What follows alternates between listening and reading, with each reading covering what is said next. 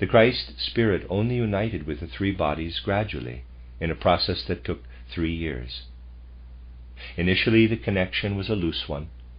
The three bodies were only truly filled with the Christ Spirit at a time when death was not far off. Compared to all the pain and suffering Jesus of Nazareth experienced in his three stages of development, the suffering that Christ went through now was infinitely greater.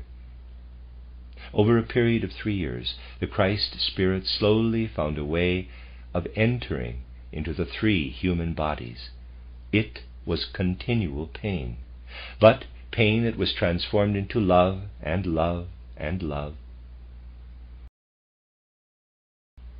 If we investigate the way Christ Jesus lived among his close followers during the three years, we find it was different from year to year. In the first year, the Christ was only loosely connected with the body of Jesus of Nazareth. At any moment, the physical body might be in one place, and the Christ Spirit would be somewhere else. When the other Gospels speak of the Lord appearing to the disciples in some place or other, the physical body would be somewhere else, and the Christ Spirit would move around the country. That was at the beginning. As time went on, the Christ Spirit united more and more closely with the body of Jesus of Nazareth. Thus it would happen later on that when the Christ was among his closest disciples, these would be so strongly connected with him in heart and mind that he was not separate from them, as it were. The more he entered into his body, the more did he come to live in the inmost being of his disciples. Going about in their midst, he would speak now through one of them and now through another, for he had become so much part of them that it would not always be Jesus Christ who uttered the words, but sometimes one of the disciples.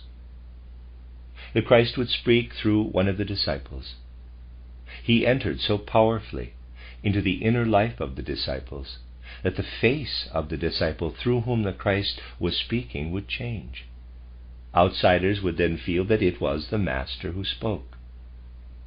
The other individual, who was in fact the Christ, would be reduced to nothingness, looking quite ordinary. Thus he would speak now through one, now through another, as they went about the country. This was the secret of his influence during the latter part of the three years. As Christ went about with his disciples in this way, he became increasingly more dangerous in the eyes of his enemies, who would say, How can we lay hands on him? We can't arrest the whole company. If we take the one who is speaking, we shall never know if he is the one or not. If we take the wrong one, the one we want will escape. They never knew if the one they saw before them was the man they wanted. That was their great anxiety.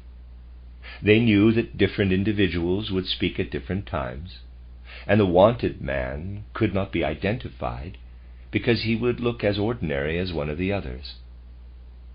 There was something very special about this company, and because of this it was necessary to have a betrayal. The matter was not as it is usually represented. What is it supposed to mean that Judas was to kiss the one who was wanted? The way the story is normally told, it should not have been difficult to get hold of Jesus of Nazareth. The kiss would be meaningless. Unless the situation was such that someone who was in a position to know had to show those who did not know which was the right man. I have indicated the reason why the enemy did not know which was the right man. The Christ Spirit only united completely with the bodies of Jesus of Nazareth when great suffering had to be faced and the mystery of Golgotha was beginning. What happened then is most beautifully described in the other Gospels. One of the facts emerging when the seer's eye, EYE, is directed to these events in the Akashic record is that at the time when the Christ hung on the cross a darkness fell on the earth in the region around Golgotha that was like an eclipse of the sun. I am unable to say if it was a solar eclipse or darkness caused by mighty cloud formations, but darkness of the kind normally observed during a solar eclipse happened around the mystery of Golgotha. Seen with the seer's eye, life on earth during an eclipse is very different from the usual. In plants, the connection between the ether body and the physical body is completely different. and in animals, astral body and ether body look very different when the earth is darkened in this way. It is different from what happens during the absence of the sun at night. Nor was it the way it would be when the sky is covered with clouds in the ordinary way. It was a particularly dense darkness. As I said, I do not know if this was an actual solar eclipse, but one sees something rather like an eclipse. While this change happened on earth, also in the physical sense, the Christ Spirit entered into the living earth aura. Through the death of Christ Jesus, the earth received the Christ impulse. The greatest event that ever happened on earth can only be described in such simple, halting words. Human words simply are not enough to convey these things adequately. When the body of Jesus was taken from the cross and laid in a tomb, another natural event occurred, rather like something entering into the moral life of a person.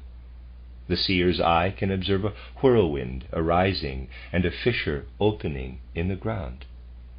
This received the body of Jesus, and the burial cloths were whirled away from the corpse. It is deeply moving to see the cloths arranged exactly as described in the Gospel of John.